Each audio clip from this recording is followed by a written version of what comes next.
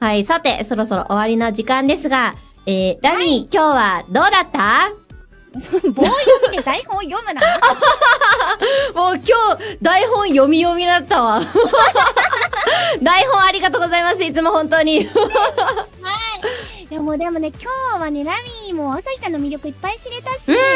あの、純粋にね、この今、あの、手元にサンプルをね、お借りしてるんだけど、うん。あの、さん、おラミ欲しくなったから、ぜひね、ゲームセンター行って頑張ろうと思います。え、取りに行こうよ、一緒に。え、来た来た来た。ラミえ、絶対楽しい。え、クレーンゲームってそういえばラミーは結構やるの？ーにやるよ、結構。でもちゃんでどっちがと楽しみ取れるかやるか。うわー、死にそう。死にそうマジで。